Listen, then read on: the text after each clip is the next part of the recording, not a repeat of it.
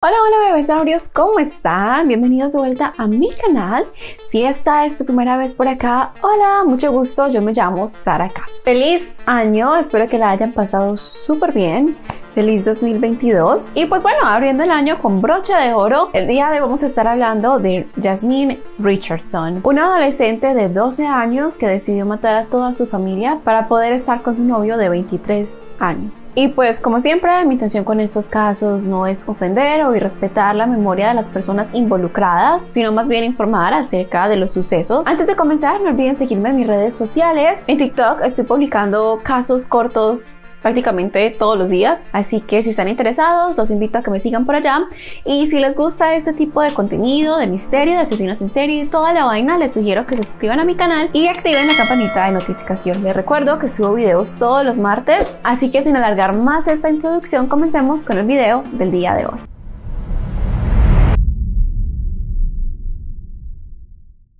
Esta historia toma lugar en Medicine Hat, Canadá.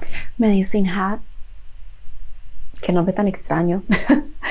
en fin, este pueblo es más bien pequeño y muy calmado. El 23 de abril del 2006 era un día un poco frío de primavera. Un pequeño de 6 años llamado Garrett se dirigió feliz y emocionado a la casa de su amigo Jacob de 8 años. Garrett notó que la camioneta del padre de Jacob se encontraba parqueada al frente de la casa, por lo que fue a ver si su amigo de 8 años quería jugar con él. Garrett tocó la puerta, nadie contestó, volvió a tocar la puerta y nadie contestaba. Al ver que nadie estaba contestando y al ser un niño de 6 años curioso, decidió asomarse por la ventana del sótano y lo que vio lo impactó y lo marcó de por vida. Él vio lo que parecía ser un cuerpo ensangrentado. Garrett corrió a casa asustado y le contó a su madre lo que había visto. Ella fue con él a la casa de su amigo Jacob y se asomó por esta ventana y efectivamente vio un cuerpo tirado boca arriba usando boxers y estaba completamente cubierto de sangre. También vio lo que parecía ser otro cuerpo, pero solamente podía ver las piernas desde ese ángulo. Ella llamó de inmediato al 911. La policía se encontró con una escena de crimen horrible, la cual fue descrita como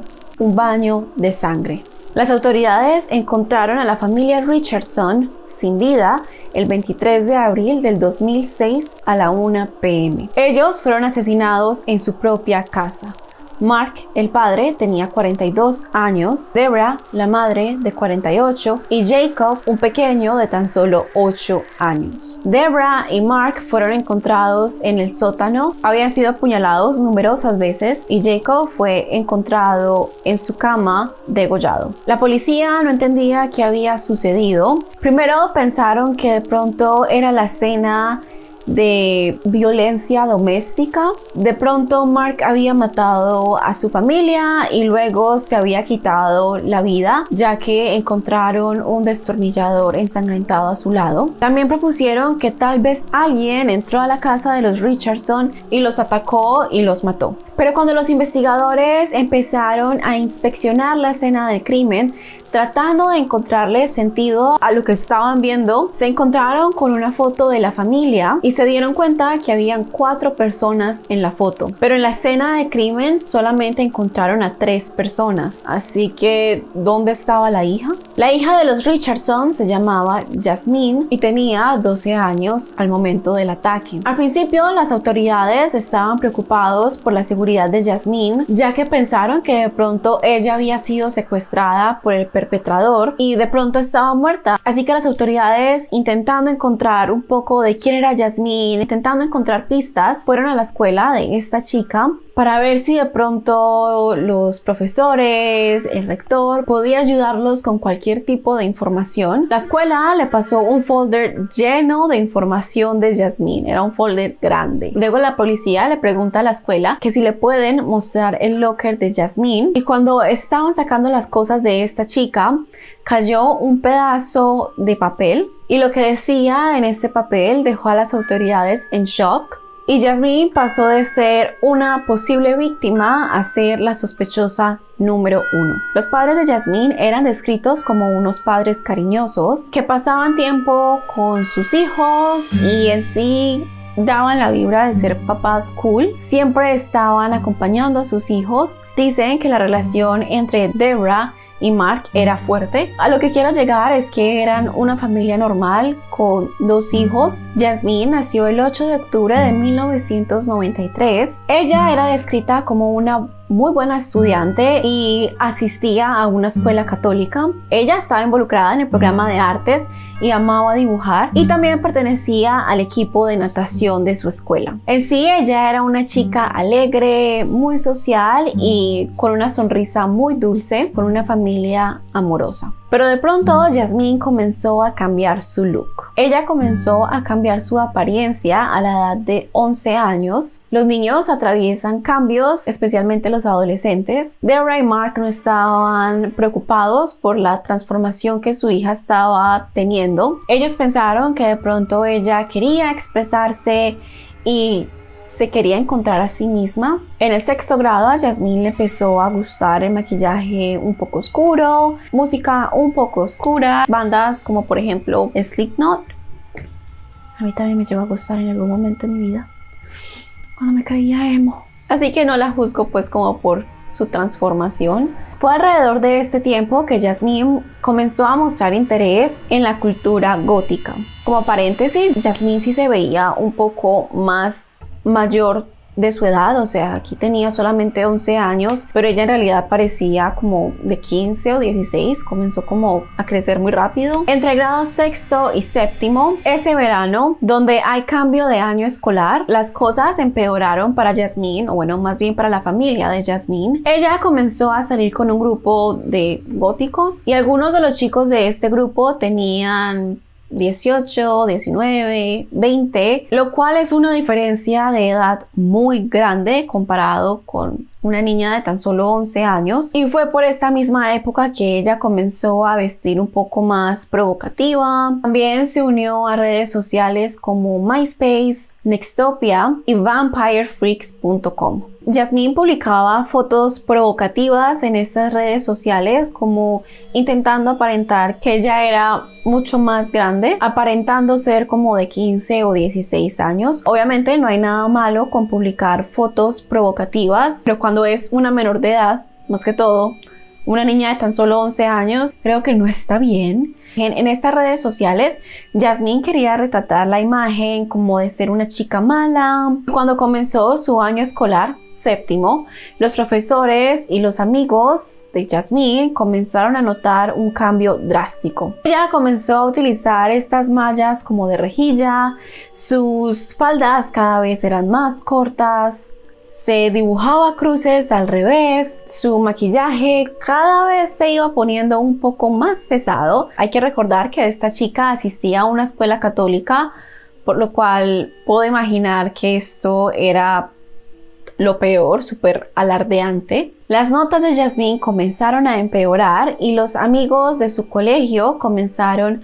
a distanciarse de la joven. Los amigos del grupo gótico de Jasmine comenzaron a llamarla a la casa, lo cual Debra y Mark no estaban muy de acuerdo. Claramente esos chicos eran mucho más mayores que Jasmine. Sus padres comenzaron a preocuparse y a cuestionarla ya que Jasmine se estaba escapando para ir a conciertos de punk. En el 2005, cuando Jasmine tenía tan solo 12 años, ella conoció a Jeremy Stank, de 23 años. Ellos se conocieron en este grupo gótico al que Jasmine pertenecía. Jeremy era popular en el grupo y siempre era como el centro de atracción y a ella le gustaba esto. Ellos comenzaron a hablar y comenzaron a salir y poco a poco se volvieron más cercanos. En febrero del 2006, Jeremy le mandó un correo a Jasmine y le preguntó que si ella quería ser su novia. Según Jasmine, ella le dijo a Jeremy que ella tenía 13 años y Jeremy dijo que él estaba bajo la impresión que Jasmine tenía 16 años, lo cual, o sea,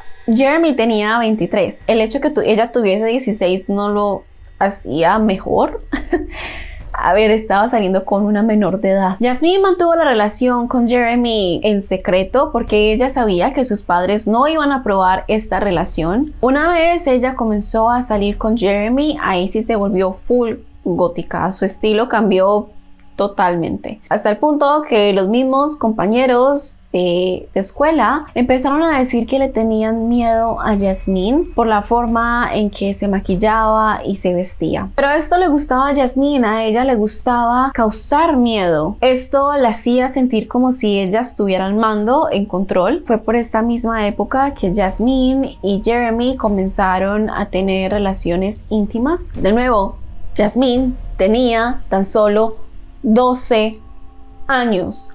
12. Mark y Deborah ya estaban cansados, mamados del comportamiento de Jasmine y como buenos padres comenzaron a monitorear la actividad en línea de Jasmine. Y fue así como encontraron que Jasmine estaba en una relación con Jeremy. Se sabe con certeza si los padres de esta chica sabían que Jeremy tenía 23 años, pero ellos estaban seguros de que había una gran diferencia de edad entre ellos dos. Y cuando encontraron que Jasmine estaba en una relación con este hombre, le prohibieron a Jasmine cualquier tipo de contacto con Jeremy, la castigaron, ya no podía salir, no podía ir a ninguna parte y le quitaron el computador. Jeremy era un desempleado que no había terminado la secundaria y vivía en un vecindario que no era muy bueno. Él utilizaba delineador negro, toda su ropa era negra y obviamente los padres de Jasmine al ver este hombre como vestía, se maquillaba, eh, pues no aprobaron la relación. Yo nunca entendí por qué hay hombres que salen con niñas de la secundaria. O sea, yo recuerdo que yo estaba como en décimo, había una compañera de 15 años y ella estaba saliendo con un man como de 35, si recuerdo bien. Y yo recuerdo que ella decía cómo le cocinaba, o sea, prácticamente era como su mujer. También recuerdo otra chica que estaba saliendo con un muchacho mucho más grande que ella, creo que él tenía como 24, 25, y él veía por la familia de ella y de todo, y cuando estaba en el colegio como que nunca lo vi como algo malo, pero ahora que ya estoy más grande es como, porque hay hombres que salen con niñitas de 15, 17. Eh, no sé, o sea, como que pedófilos, porque no salen con viejas de su misma edad. En fin, me estoy descarrilando. Jeremy también utilizaba un collar y en ese collar tenía un frasco donde guardaba sangre. Él le dijo a Jasmine que él amaba el sabor a sangre y que necesitaba beber sangre para sobrevivir. No porque fuera un vampiro, no. Él le dijo a Jasmine que él era un hombre lobo de 300 años. Pana gente muy loca. mm. A lo mejor esto fue lo que enamoró a Jasmine.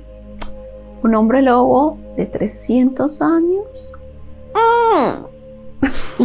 a ver, pues Jasmine tenía tan solo 12 años. A esa edad uno cree cualquier cosa que le digan. El mundo de Jasmine comenzó a girar en torno a Jeremy. Así que cuando los padres le dijeron que ya no lo podían ver, ellos le dijeron a Jasmine que solamente podía ir a la escuela y de ahí derechito para la casa. No podía ir de ninguna amiga, no podía estudiar con ninguna amiga, nada de nada.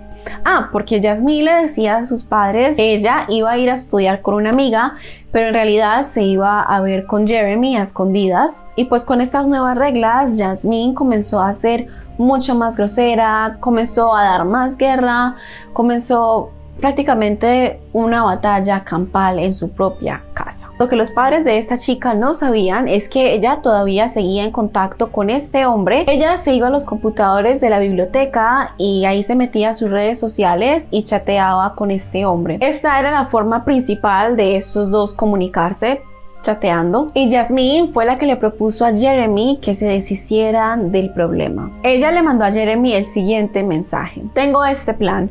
Comienza conmigo matándolos y termina conmigo viviendo contigo. A lo que Jeremy le respondió lo siguiente. Hay gargantas que quiero cortar. Ellos van a lamentar la mierda por la que te han hecho pasar. Finalmente habrá silencio. Su sangre será mi pago. Yasmín constantemente se quejaba de sus padres que la trataban mal y quería que ellos desaparecieran de la faz de la tierra. Por su culpa, ella no podía estar con el amor de su vida, con Jeremy, por lo que Jasmine comenzó a demandarle a Jeremy que cumpliera su promesa, que se deshiciera de sus padres para que ellos dos pudiesen estar juntos. Era simple, él debía de matar a los padres de Jasmine. El sábado 22 de abril, los Richardson hicieron un asado con sus dos hijos y con Garrett, el amigo de Jacob, niño de 6 años. Estaban pasando bien, una noche normal en familia. De comportamiento de Jasmine no se sabe mucho, lo único que se sabe es que ella recibió el mensaje de una amiga diciéndole que si quería ir a nadar al día siguiente, a lo cual ella le respondió que sí tomó un baño de burbujas y, eso es como lo único que pasó esa noche. Luego, esa noche, Jasmine llamó a Jeremy y le dijo algo que hizo que Jeremy tomara cartas en el asunto. Él había estado bebiendo esa noche y también había consumido drogas. Después de recibir la llamada, de Jasmine y antes de dirigirse a la casa de la joven, él bebió aún más. Bebió una botella de vino tinto junto con un poco de cerveza. Se puso un pasamontañas, cogió dos cuchillos, condujo hasta la casa de la chica a las 3 a.m., es decir, el 23 de abril, del 2006, el ruido despertó a Debra y fue a investigar qué era lo que estaba pasando. Cuando ella bajó al primer piso, se encontró con un intruso enmascarado y comenzó a gritar y este hombre comenzó a apuñalarla sin decir ni una sola palabra. La apuñaló un total de 12 veces. Sus gritos despertaron a su esposo, Mark, quien bajó al primer piso a ver qué era lo que estaba sucediendo con su esposa. Es ahí cuando él ve a este hombre apuñalando a su esposa. De verdad que no me puedo imaginar el dolor que Mark sintió al ver que su esposa estaba siendo brutalmente asesinada. Este Mark reaccionó y él vio que había un destornillador cerca de él, él agarró este destornillador y comenzó a atacar al intruso, pero desafortunadamente Mark terminó siendo apuñalado violentamente y terminó con un total de 24 apuñaladas. Las heridas obviamente fueron mortales. Cuando Mark preguntó por qué este hombre enmascarado le dijo, es lo que tu hija quería. Imagínense uno escuchar esas últimas palabras, o sea, en el piso de arriba se encontraban Jasmine y su hermano. Los gritos obviamente habían despertado a Jacob y estaba muy asustado. Jasmine entra a la habitación y pone las manos de ella en los oídos de su hermano para que no escuche los gritos. Jacob sube al segundo piso y se encuentra con Jasmine y el hermano de ella. Y en vez de Jasmine decirle a Jeremy como no matemos a mi hermano, él es inocente, no tiene nada que ver, mm, no,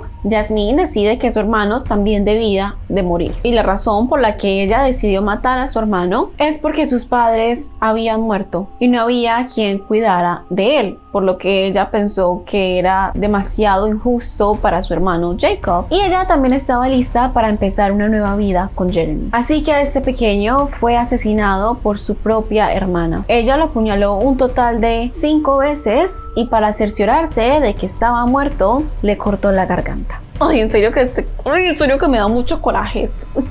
Te odio, Jasmine. Te odio. Entonces, estos asesinatos ocurrieron en la madrugada del 23 de abril y a la 1 pm fue cuando el pequeño Garrett se dirigió a la casa de Jacob y encontró los cadáveres de esta familia. Luego de que estos dos imbéciles mataran a la familia, se dice que se dirigieron a la casa de la persona que le vendía coca a Jeremy. Presuntamente Jeremy le preguntó a esta persona que cómo se deshacía de, sangre en los cuchillos. De ahí no está claro a dónde se fueron, pero se sabe que tuvieron relaciones sexuales al poco tiempo de haber masacrado a la familia de Jasmine asistieron a una fiesta en la casa de un amigo. Los que asistieron a esta fiesta dicen que Jasmine y Jeremy andaban como muy calentones que hacían sino besarse en el sofá, como muy arrecho. Y fue en esta fiesta que Jeremy le confesó a su amigo James Raleigh que la noche anterior, o bueno, en la madrugada, habían asesinado a toda la familia de su novia y que los abrió como pescado. Esta fiesta fue en una casa que quedaba a menos de una milla de la casa de Jasmine, en donde toda la familia de esta chica, bueno, más bien de este monstruo, estaba muerto. Mientras todo esto estaba pasando con Jasmine, de fiesta y de todo, las autoridades estaban investigando qué era lo que había pasado y se dirigieron a la escuela de Jasmine y comenzaron a esculcar su locker. Se encontraron con un dibujo como tipo cómic donde las donde hay varios cuadritos no sé cómo se llame. En este dibujo se ve una casa encendida en llamas y los muñecos de palo que ella había dibujado también estaban encendidos en llamas. Y hay dos muñecos de palo que logran escapar las llamas y estos dos personajes se estaban riendo como si esos dos muñequitos que habían sobrevivido hubiesen encendido la casa en llamas El dibujo se veía como medio malvado y las autoridades al ver este dibujo y al ver que Jasmine estaba desaparecida, las autoridades pasaron de verla como una posible víctima, la sospechosa número uno. La policía sacó unos volantes de Se Busca con la información de Jasmine. Más tarde sacaron otros volantes donde aparecía Jeremy y Jasmine. Por la manera en que se encontraron los cuerpos, las autoridades concluyeron que este trabajo había sido de al menos dos personas, que era imposible que una sola persona hubiese atacado a todos de esta forma o bueno, Jasmine hubiese atacado a estas personas. Y las autoridades también encontraron la actividad en línea entre Jasmine y Jeremy, pues que obviamente los incriminaba a los dos. Ahora Jasmine y Jeremy estaban siendo buscados por triple homicidio el 23 de abril del 2006. El caso estaba siendo resuelto súper rápido. Este boletín pues daba una descripción de ellos, tenía la foto de ellos y tenía la descripción de la camioneta en la que posiblemente se estaban movilizando y que posiblemente se dirigían a un lugar llamado Leader. Bueno, ustedes estarán preguntando, ¿y la policía cómo sabía esto? Pues resulta y acontece que amigos cercanos de esta pareja comenzaron a hablar con la policía y les dijeron todo lo que ellos habían hablado en la fiesta y les comentaron que Jasmine y Jeremy habían hablado acerca de irse a ese pueblo. Así que los policías estaban en alerta. Había un policía en especial que estuvo buscando a los sospechosos toda la noche en el pueblo Leader, pero no encontró nada. Él terminó su turno a las 2 de la mañana, se fue a su casa a dormir cuando lo despertó una corazonada. Él se levantó y dijo, estos chicos en algún momento van a necesitar gasolina. Por lo que a las 5 de la mañana él se levanta y se dirige a una de las gasolineras más grandes de este pueblo, parquea su carro y se queda allí esperando. A las 7 de la mañana, este policía vio una camioneta que cumplía con las placas y la descripción de la camioneta que estaba buscando. Ahí esta camioneta se dirigió al parqueadero de una escuela secundaria. El policía venía siguiendo la camioneta. Él llamó a refuerzos y cuando llegaron al parqueadero de esta secundaria, emboscaron a Jeremy y a Jasmine. Ellos terminan llevándolos a la estación de policía y cuando los arrestaron, ninguno de los dos, bueno, especialmente Jasmine, no mostraba ningún signo de tristeza o remordimiento o culpa. Jasmine fue interrogada el 25 de abril del 2006 y ella no negó su participación en el homicidio y dijo que ella simplemente amaba tanto a Jeremy que pensó que haciendo esto iban a poder estar más cerca. Al principio Jasmine culpó a Jeremy por todo lo que había pasado. Ella dijo que ella no había apuñalado a su hermano. Luego ella admitió haber apuñalado a su hermano, pero no muy duro. Y añadió que Jeremy fue el que le cortó la garganta a su hermano. Con la presión de los investigadores, Jasmine termina admitiendo que ella había apuñalado a su hermano y le había cortado la garganta para cerciorarse que estaba muerto. Añadió que su hermano era muy sensible para vivir sin sus padres. Jasmine y Jeremy siguieron comunicándose cuando estaban en la cárcel, se escribían cartas y en el juicio estas cartas fueron mostradas al público. En ellas Jasmine bromeaba o decía que eran leyendas e inmortales. Y en ninguna de esas cartas ni Jeremy ni Jasmine muestran algún tipo de remordimiento o culpa por lo que hicieron. En estas cartas ellos simplemente estaban planeando su futuro juntos, como si literalmente fueran a salir de prisión al siguiente día. En otras cartas presentadas como forma de evidencia, Jasmine dice lo siguiente. Nunca una persona me había afectado tanto. Siempre habrá algo que me estará haciendo falta sin ti. Mi abogado dice que somos leyendas, más bien cerca a inmortales. Luego traen otra carta de Jeremy que dice lo siguiente. Te amo más que a la vida misma. Te agregué en mi lista de visitantes para cuando seas dejada en libertad me puedas visitar a menudo. Nunca olvides de cuán importante eres o que te amo. Dijiste que te querías casar. Acaba mi propuesta. ¿Te quieres casar conmigo? A lo que Jasmine le responde sí, acepto. Y añade, el mundo está en nuestra contra. Roar. XD. Claramente ellos no sentían ningún tipo de remordimiento, solo hablaban de su relación y de cómo el tiempo en prisión simplemente estaba trazando sus planes. En el juicio que tomó lugar el 3 de julio del 2007, Jasmine dijo en su testimonio que la conversación con Jeremy acerca de matar a su familia era hipotética, pero nunca con la intención de matarlos en realidad. Y cuando la cuestionaron acerca de sus cartas, ella dice que con respecto a ser leyendas e inmortales, simplemente se refería a sus 5 minutos de fama y que la gente los iba a recordar a ellos dos para siempre. Ella se declaró no culpable a todos los cargos de homicidio en primer grado. Pero después de tres horas de liberación, el 10 de julio del 2007, el jurado la encontró culpable a los tres cargos de homicidio en primer grado y fue sentenciada solamente a, a 10 años de cárcel. La máxima sentencia permitida por la Ley de Justicia Penal Juvenil, la cual dice que los convictos menores de 14 años no pueden ser sentenciados como adultos y solo se les puede dar una sentencia máxima de 10 años. Por lo que leí, ella en realidad como que ni cumplió estos 10 años de condena. Pasó unos cuantos años con los psiquiatras, en hospitales, ayudándola a ser una mejor persona y de ahí pasó cuatro años en la comunidad bajo supervisión. Obviamente mucha gente estaba enojada pues como por la sentencia que se le había dado a Jasmine. La ley canadiense se basa en rehabilitar a la gente en vez de castigarlos, lo cual no sé, suena muy lindo, pero siento que esto debería de ser caso por caso, si me hago entender, o sea, siento que el caso de Jasmine merecía pudrirse en la cárcel por lo que le hizo a sus papás. El juicio de Jeremy fue en diciembre del 2008 y obviamente fue encontrado culpable y sentenciado a tres cadenas perpetuas continuas.